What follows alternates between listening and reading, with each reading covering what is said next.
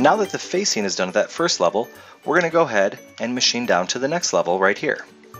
So to do that, I'm going to show you another way to work. In the first video, I went to the icon, selected a tool, selected a face. Another way would be to select the face first, and then use your contextual menu or your right mouse button click menu. From here, I can go and choose end milling straight from that list.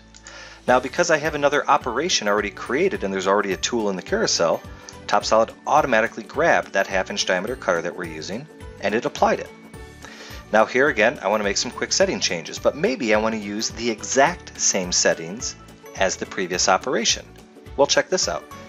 You can just simply hold your left button down on the facing here and drag and drop it onto the settings button here. And like that, all of the exact settings were copied. Now, you can see that we're treating this like an open pocket. That's kind of interesting. It's leading on and off, plunging off the part. But maybe we want to get all the material at that Z level. Well, to do that, I want to switch back to a facing. How do you do that? You go up to the quick settings balloon here, you double left mouse button click, and you choose facing. And like that, Top TopSolid does the heavy lifting, and we've now done the facing down to the next Z level.